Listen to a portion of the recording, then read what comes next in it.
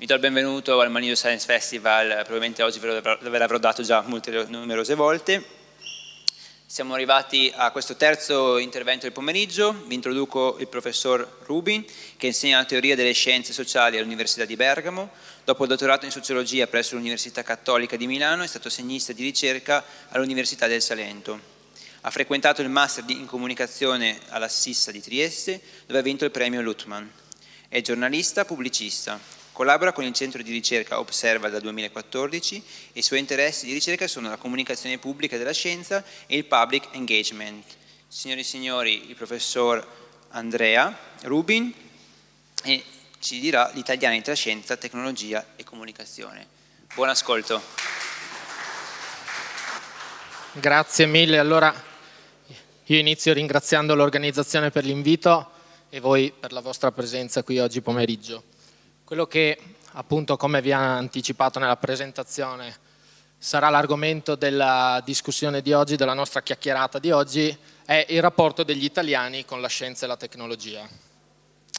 Allora è un modo per presentare una serie di dati che con Observa abbiamo raccolto eh, su un campione rappresentativo della popolazione italiana che descrive un po' l'atteggiamento degli italiani nei confronti dei temi tecnologici e scientifici. Spesso sentiamo tanto chiacchierare del rapporto degli italiani con la scienza e la tecnologia, qualche critica, però a volte spesso queste eh, discussioni eh, non sono supportate da dati co concreti.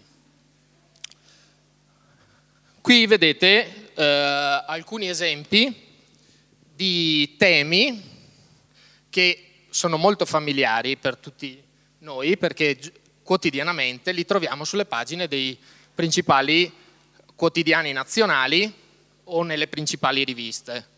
Eh, il cambiamento climatico, eh, le vaccinazioni, l'omeopatia, le cellule staminali, la fecondazione assistita, gli OGM, sono tutti casi però che hanno una caratteristica in comune, nel momento in cui entrano nell'arena pubblica diventano temi anche molto controversi.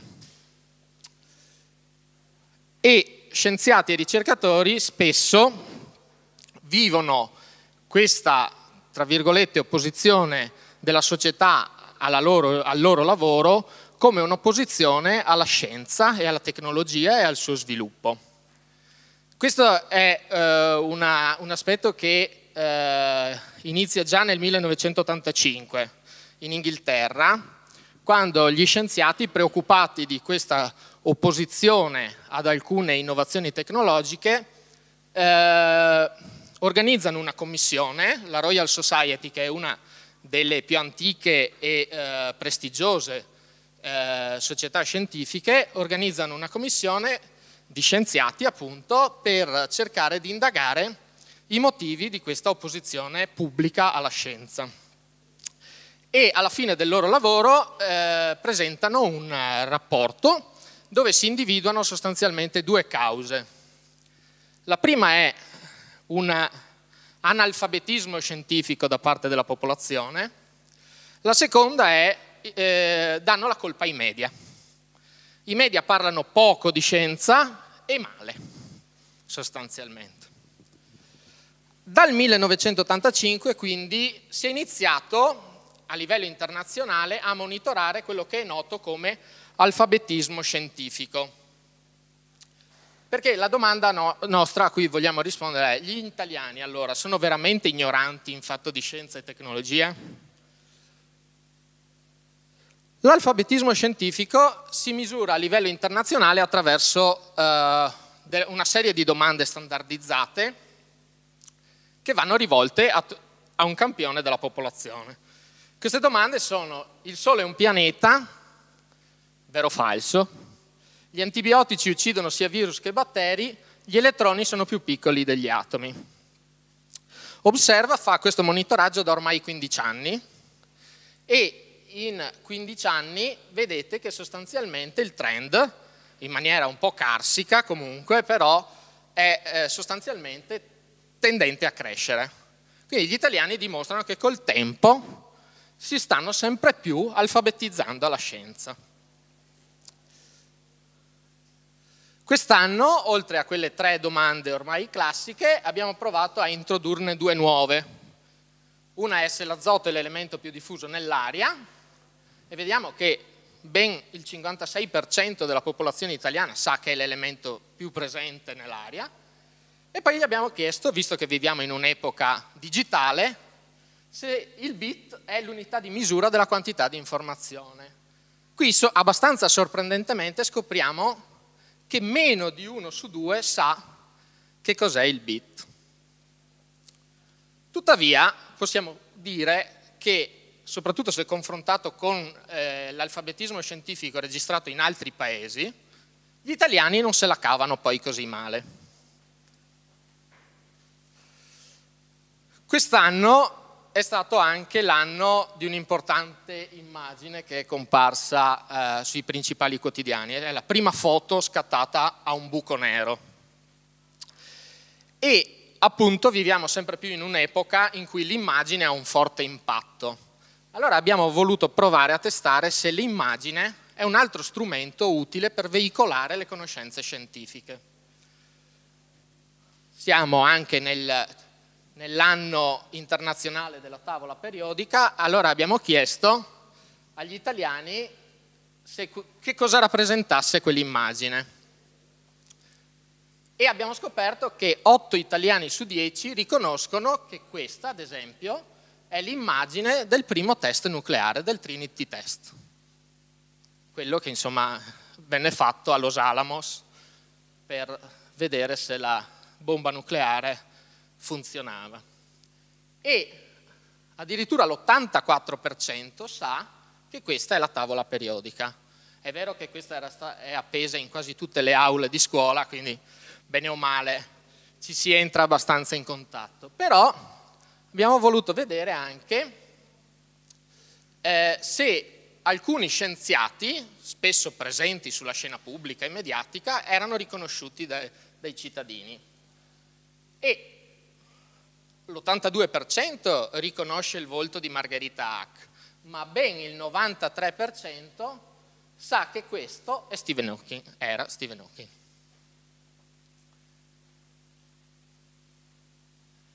Abbiamo visto quindi che insomma, gli italiani tutto sommato male male non se la cavano. Vi apro e chiudo parentesi, meglio degli americani ad esempio, dove il livello è molto inferiore. È tutta colpa dei media? Allora, gli italiani si espongono abbastanza ai contenuti tecnoscientifici nei media. Vedete che nel 2018, ad esempio, se sono relativamente pochi quelli che si espongono a contenuti tecnoscientifici ogni giorno, sono l'8% che legge giornali, il 10% sostanzialmente che consulta siti web su scienza e tecnologia e l'8% che guarda trasmissioni televisive che parlano di scienza e tecnologia, comunque è sempre circa il 50% che si espone almeno una volta alla settimana. Ma gli scienziati sono anche la categoria che gode, diciamo così, di maggior fiducia da parte degli italiani rispetto ad altre categorie sociali. Beh, questo era abbastanza ovvio, i politici sono all'ultimo posto. Non solo, ma se noi chiediamo agli italiani rispetto a un tema scientifico di tuo interesse, a chi ti rivolgeresti, da chi vorresti avere delle spiegazioni? La risposta per l'81%, quasi l'82% è dalla viva voce dei ricercatori voglio andare ad ascoltare proprio chi si occupa di quello cosa ha da raccontarmi. Poi vengono le riviste di divulgazione, i siti web degli istituti di ricerca, ma c'è una grande fiducia nei confronti degli scienziati. Recentemente uno dei problemi che sembra essere emerso, su cui però eh, non ci sono ancora dati chiari, bisogna essere sinceri, non, non si è ancora eh, scoperto qualcosa a riguardo, è la diffusione di eh, notizie false, fake news, ne, nel web. Allora abbiamo chiesto agli italiani come valutano l'affidabilità di una notizia che trovano girando in internet. E anche qui scopriamo delle cose abbastanza contro, controtendenza rispetto a quello che sentiamo spesso dire. Il 40% si basa sulla fonte da cui la notizia proviene. È un dato abbastanza incoraggiante, soprattutto se eh, lo sommiamo al, al 17,5% che si basa anche sul fatto eh, di confrontare se quella notizia è stata riportata da altre fonti autorevoli. Poi ci sono altre, eh, altri modi. Un dato che è interessante, anche quando si parla di o si addossa la colpa a internet, al web come causa di diffusione delle fake news, è che il 20% della popolazione italiana non usa internet. È un dato tra i più elevati d'Europa, ci sono paesi che arrivano quasi allo zero, ma il 20% non usa internet. Che gli italiani siano favorevoli alla scienza è abbastanza indiscutibile, anche se nell'ultima rilevazione il dato è un po' in calo, però gli italiani pensano, nella maggior parte dei casi, che la scienza abbia, sempre, abbia degli effetti positivi per la nostra vita quotidiana. Ma qual è il rapporto degli italiani con la salute? Qui vediamo se parte un piccolo video. Uno dei temi che ci dà un'indicazione è quello che noi abbiamo definito dell'autocura. Il video non ci aiuta? Sì.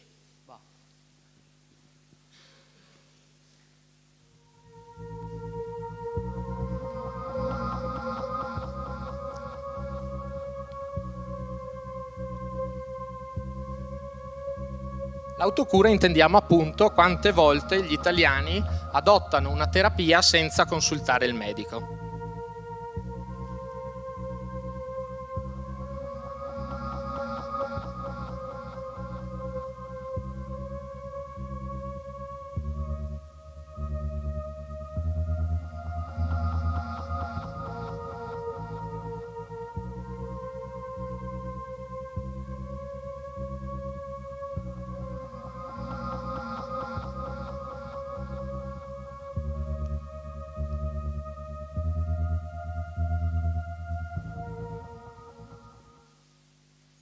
Insomma, qui il dato inizia a essere un po' più, diciamo così, preoccupante, perché abbiamo visto che con poca differenza tra un anno e l'altro, comunque il 50% della popolazione italiana almeno una volta decide di intraprendere una terapia medica senza consultare il suo medico.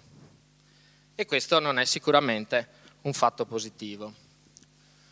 Un altro tema che è stato particolarmente caldo negli ultimi anni è quello che riguarda le vaccinazioni. Allora, con eh, i colleghi abbiamo iniziato a fare questa, questo monitoraggio sulle eh, opinioni degli italiani rispetto alle vaccinazioni nel 2015.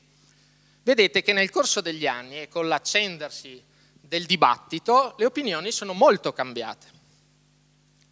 Nel 2015 riteneva giusto che tutte le vaccinazioni, compresa quella dell'influenza, fossero obbligatorie solo il 23% degli italiani. 2 su 10, veramente molto pochi. La maggior parte riteneva che solo un numero minimo di vaccinazioni dovessero essere obbligatorie, lasciando invece la maggior parte delle altre decisione del singolo, dell'individuo, se decidere di sottoporsi alla vaccinazione oppure no mentre il 18% riteneva che nessuna vaccinazione dovesse essere obbligatoria. Passano tre anni, arriviamo al 2018, nel frattempo c'è stato un ampio dibattito nei media, c'è stata anche una forte decisione politica, tutti voi ricorderete senz'altro il fatto che a un certo punto il Ministero della Salute, nella figura del ministro Lorenzin, decise di introdurre l'obbligatorietà di una decina, mi sembra, di vaccinazioni, anche su sollecitazione dell'Organizzazione Mondiale della Sanità che aveva individuato nell'Italia un punto debole per, per, il ritorno di alcune malattie e vedete che col tempo gli italiani hanno cambiato opinione. Questo per un sociologo è abbastanza interessante perché eh, mostra come uno dei problemi principali rispetto a questo tema sia l'assenza di decisione.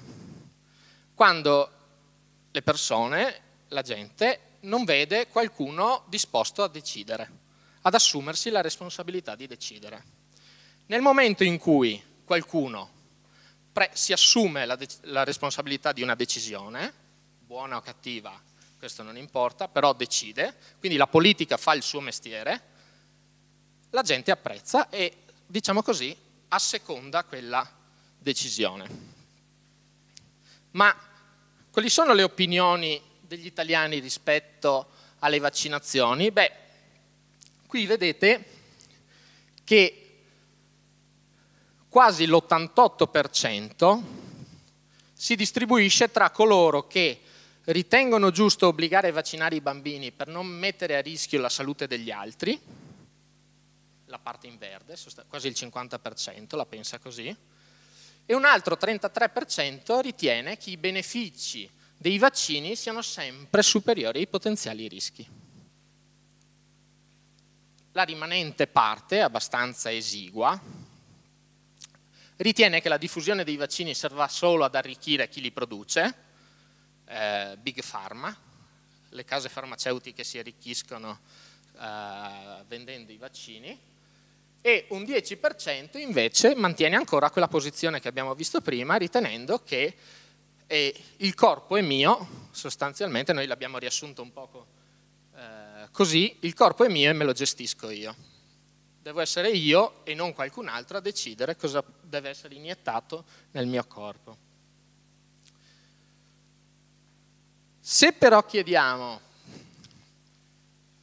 di chi si fidano gli italiani per ricevere informazioni sulle vaccinazioni, vedete ancora che sono proprio i medici di base e i pediatri le figure di riferimento, che mantengono ancora un ruolo.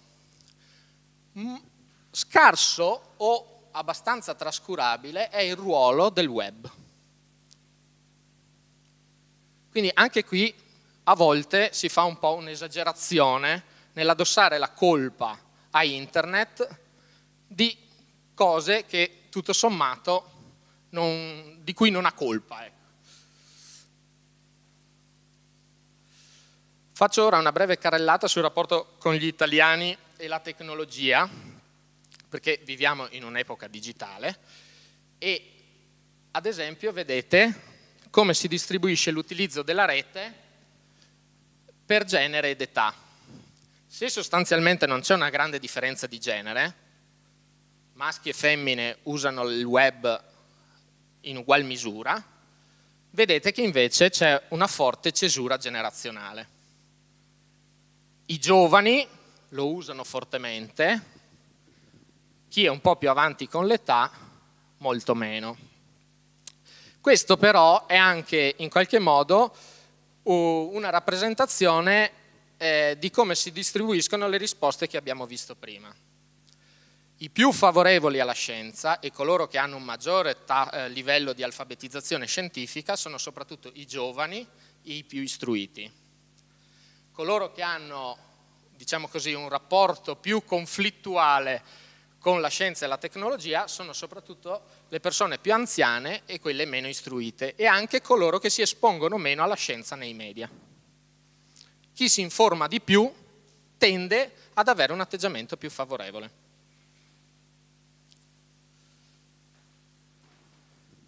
Anche qui vedete il livello di competenza degli italiani con la tecnologia, con, con internet.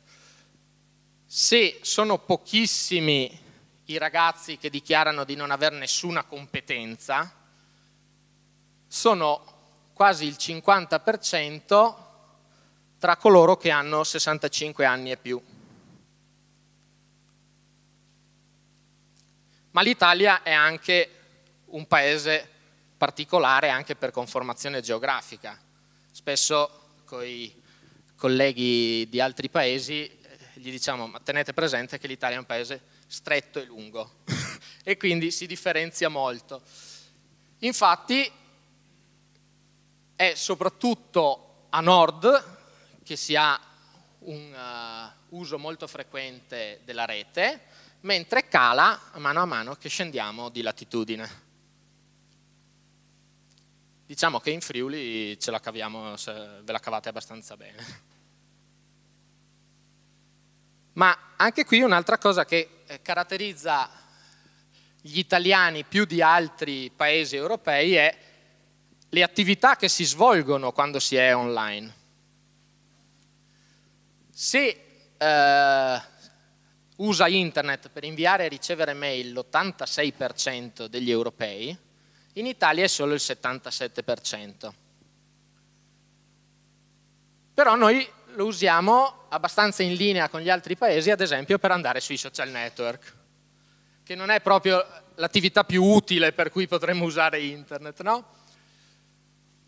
Qui addirittura diventa ancora più abissale il distacco su leggere siti di informazione. In Europa è il 72% che va in internet per leggere per informarsi, in Italia è il 56%. E via via così a scendere eh, fino a vendere beni o servizi, dove l'Italia addirittura è a metà rispetto all'Europa, e quindi questo ci dà anche un po' un quadro utile per riflettere quando sentiamo anche alcune proposte politiche, di, quando si parla spesso di digitalizzazione, eh, aumentare eh, l'uso del web per la partecipazione politica, vedete che partecipare a consultazioni civiche e politiche l'Italia e l'Europa sono abbastanza simili ma a un livello abbastanza basso. Uno dei temi appunto che ha eh, diciamo così, occupato eh, le pagine anche di alcuni giornali e la riflessione anche politica eh, dopo lo scandalo che forse ricorderete di Cambridge Analytica che ha venduto i dati eh, degli utenti di Facebook a società private, ai governi eccetera, uno dei temi principali è stato la privacy nel web. Allora noi abbiamo indagato quanto gli italiani sono preoccupati rispetto a questo tema. E vedete che il 35,5% si dice abbastanza preoccupato, il 26,7% si dice molto preoccupato. Siamo quasi al più del 60%. Ma di cosa è preoccupato? Della possibilità che informazioni sensibili e contatti siano divulgate a terzi, appunto c'era un c'era un po questo spettro di Cambridge Analytica alle spalle. Oppure l'80% è preoccupato che la possibilità che gusti e preferenze siano monitorati da società esterne, dalle grandi corporation che hanno in mano appunto questa grande quantità di dati. Oppure che eh, la, qualcuno cerchi di influenzare le opinioni politiche attraverso post e commenti mirati. No? L'idea che alcuni paesi addirittura possano fare interferenze nelle elezioni politiche. Ma la cosa curiosa è Bene, il 60% è preoccupato, ma cosa fate per mettervi al riparo da quello che più temete? La cosa interessante è che appunto il 65% non fa nulla. Niente, assolutamente nulla. Altri pochi si sono cancellati dai principali social network, Alcuni hanno chiesto quello che è noto come il diritto all'oblio, diciamo, e mentre altri si sono indirizzati verso l'uso di motori di ricerca, siti che non sono eh, quelli più comuni, in modo da diciamo, ridurre la possibilità di attirare l'interesse delle grandi corporation. L'83,9% ritiene che Google e Facebook abbiano troppo potere e che sia necessaria aumentare la vigilanza e la regolamentazione. Ma eh, altri ritengono che ad esempio gli utenti non possano dare la colpa ai proprietari delle piattaforme, ma devono assumersi la responsabilità dell'uso che fanno di questi strumenti. Dicono, beh, se li usate dovete anche essere consapevoli dei rischi che correte. Ma un dato abbastanza eh, interessante per me è il fatto che il 74,2% ritiene che i social dovrebbero essere proibiti ai minori di 18 anni. Tenete conto che i social sono usati per la maggior parte da gente che ha circa quell'età lì. Ora, prima di lasciare lo spazio eventualmente a una chiacchierata più informale, eh, una breve carrellata di dati sparsi sul rapporto tra l'Italia e la ricerca. Allora, come, quanto spende l'Italia in ricerca e sviluppo? Il dato è abbastanza sconsolante, poi per chi magari lavora all'università ancora di più, perché è solo l'1,3%. Calcolate che ne, nella, la media UE è a 1,9, ma qui i decimali fanno molta differenza, eh? è, parliamo di milioni di euro, non, mm, non è eh, come pesare un chilo di farina che etto più, etto meno, no, no, qui sono milioni di euro. Paesi come Israele investono il 4,3%, la Svezia il 3, 3, il triplo di noi. Quindi dobbiamo porci qualche domanda rispetto a questo tema ma soprattutto quanti sono i ricercatori o le ricercatrici impiegate ogni mille occupati. In, paesi, in paesi come la Danimarca, la Svezia, la Finlandia sono più di 14. Ogni mille persone che lavorano, 14 fanno il ricercatore. In aziende pubbliche, private, non è importante questo, però fanno quel mestiere lì, si occupano di ricerca e sviluppo Ogni mille in Italia sono 5, un terzo. È facile capire anche che non possiamo competere con altri paesi sotto certi aspetti. Tuttavia, l'Italia non si piazza male come articoli scientifici pubblicati, anche come qualità della sua ricerca. Questo lo dobbiamo dire perché non dobbiamo sempre avere una esterofilia esagerata. È vero che qui sembriamo ultimi nella graduatoria, però ci confrontiamo con paesi, siamo molto vicini a paesi come il Canada, la Francia, che insomma investono molto di più, eccetera, hanno tradizioni diverse, quindi... E poi questo è solo un dato puramente quantitativo, mentre poi uh, sui paper scientifici sappiamo che conta molto la qualità della ricerca che uno fa. A livello di brevetti anche qui siamo un po' indietro. Brevetti, sapete, è uno strumento fondamentale per produrre eh, ricchezza sostanzialmente, perché io deposito il brevetto e questo produce degli introiti, perché poi chi volesse usare la mia idea deve pagare delle royalties. La Germania deposita eh, 19.000 domande, eh, domande di brevetto l'Italia 3000. È chiaro che anche qui c'è un divario enorme. Questo è l'ultimo dato, poi giuro, eh, penso di avervi sconsolato del tutto. Eh, quali sono i paesi europei più innovativi? Questo è un indice che è stato creato dalla Commissione europea, mette insieme eh, vari elementi. Vedete che l'Italia raggiunge un punteggio di 0,37 paesi come la Germania sono più o meno al doppio, il Regno Unito anche, la Svezia 0,71, cioè imbattibile.